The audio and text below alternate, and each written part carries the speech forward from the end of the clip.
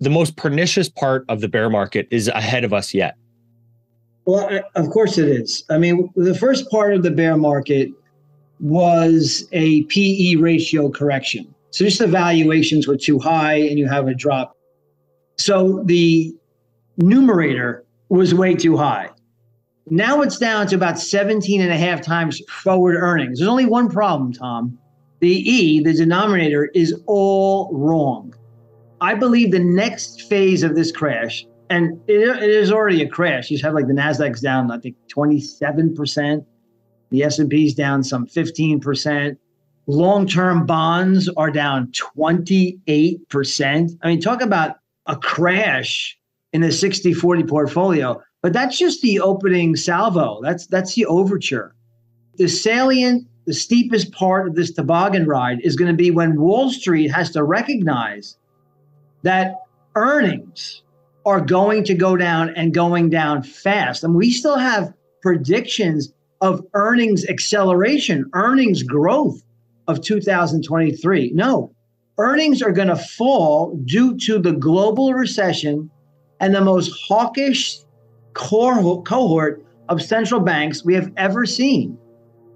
So the earnings are going to crash. That means not only is the earnings denominator too high, but the P in the denom- in the numerator is too high.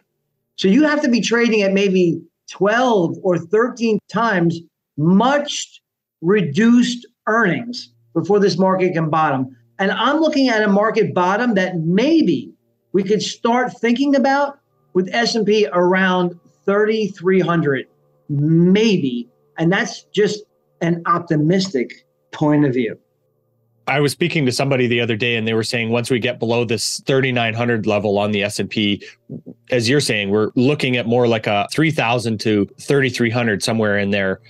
So is there a reason you pick that 3300 level yeah. or is it based on technicals? How do you how do no, you see I, that? I don't I don't do technicals. I, mm-hmm. I, I mean I I don't rely heavily on technicals, I should say. I'm much more of a fundamental analyst. So if you look at the total market cap of equities as a percentage of GDP, right now it's around 160%. So think of the valuation of equities are 1.6 times the underlying economy. Now that that level is higher than at any other time in history from the signing of the Buttonwood Agreement all the way to the summer of 2020.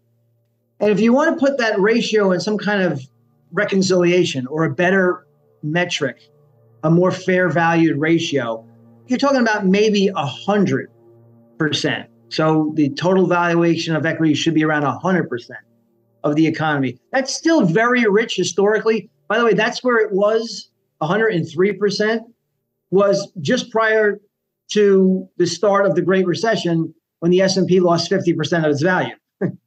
so, and if, even if you look at the Nasdaq bubble peak, it was 140% total market cap of equities to GDP.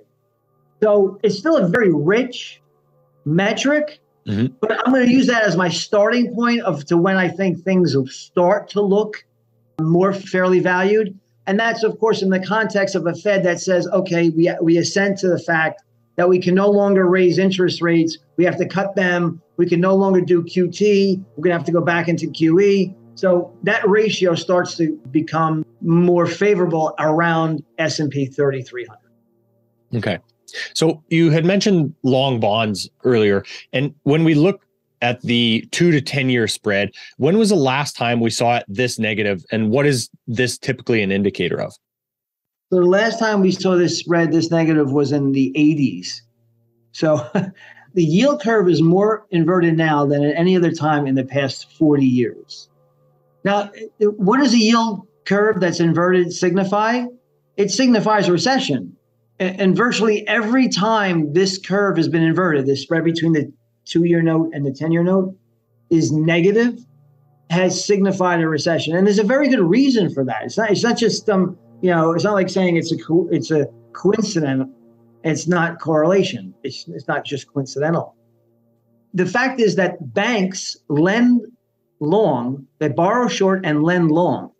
Well, if their borrowing costs are higher than what they can make on their loans, they stop lending money.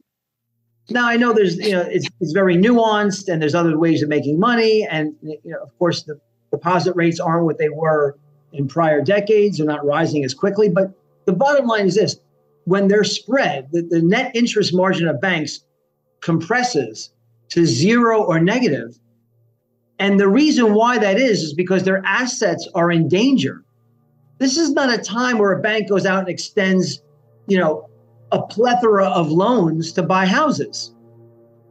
So their book contracts, their profits contract, the money supply contracts, and that causes asset prices to contract. And that means that the economy slows even faster. And that's really, really bad for earnings. So, as you're kind of explaining, this has real world implications for, let's say, the broader economy and the average consumer because they're pulling credit and making credit harder to attain for, let's say, the average business to get because hmm. they're not able to make money on those loans. The, the primary dealers understand that the construct is in reverse right now. I mean, it used to be for most of the time, the duration between 2003 to today, it used to be that, well, the Fed prints a lot of money and they buy assets from banks. They take away their mortgage backed securities, they, they take away their treasuries. And then what does the bank do? Like during QE, what, what is the what is the function? Well, the Fed says to banks, the primary dealers, I am going to buy an unlimited amount of mortgage backed securities and bonds from your balance sheet. So they take those those assets off of the primary dealers' books, and then they get credit, something called Fed credit. Well, what do you think a bank would do when they say, "Oh, gee, I used to have a treasury, and now I know there's an unlimited buyer, the federal government, who is indiscriminate in their buying. So they don't care the price, they don't care anything about their profit and loss. All they care about is giving me, us, the primary deal is $120 billion a month and taking away our assets. What, what they do with those assets is obvious. If they're going to put treasury prices in a bull market, they're going to front run the Federal Reserve. So they buy more. They buy more mortgage backed securities. They buy more treasuries with that Fed credit. And that brought interest rates, borrowing costs close to zero. And then you sit there, well, well, why did home prices go up 20% per annum lately? Mm-hmm. Are rents up 12% nationally and in New York City up 46%? I mean, it's clearly a function of the Federal Reserve buying all these assets. It's called interest rate repression, sending these borrowing costs close to zero. And then banks have all this credit to go on a you know a buying spree. They buy bonds, they buy treasuries, they buy mortgage-backed securities, they buy stocks, they buy everything. Because if you're going to have the cost of capital be zero, then what's the discount ratio there? What's the discount to capital? You're going to go out and buy stocks, right? So is there any wonder why stock, the stock market on a price to sales ratio is higher today than almost at any other time in history?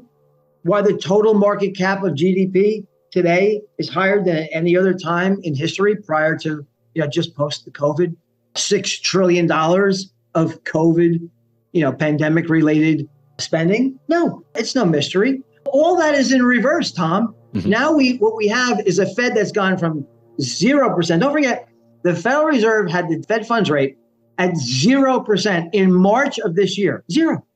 And now they're going to go to 4%. They have no choice. They have to do it. I can explain why later if you want me to. They have no choice but to go to at least high threes, low four by March of 23. So that's that's 400 basis points of rate hikes mm-hmm. in the span of one year.